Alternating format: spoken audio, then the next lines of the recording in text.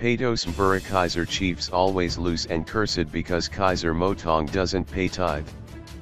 Pretoria, in case the shocking news hasn't hit you yet, Incredible Happenings Ministries founder and leader Prophet Mboro revealed in an interview on Radio 94 that the Lord spoke to him about a curse upon Kaizer chiefs and the owner Kaizer Motaung.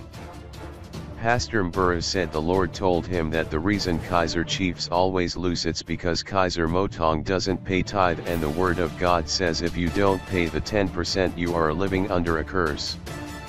Pastor Mboro also said Kaizer Motaung must pay all the tithes he owes from 2016 when he received Jesus Christ as Lord and Savior.